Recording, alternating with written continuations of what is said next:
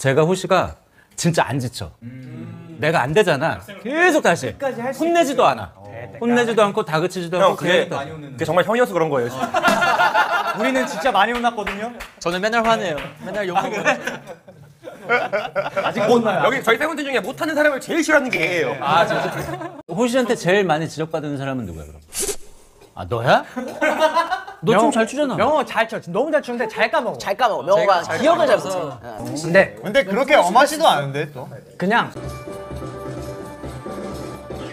나의 그대가 원한다면 어디든 무리야 그 모노스한 나네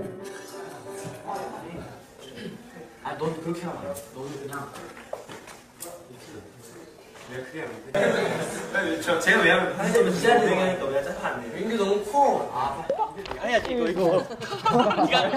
잖아, 영어.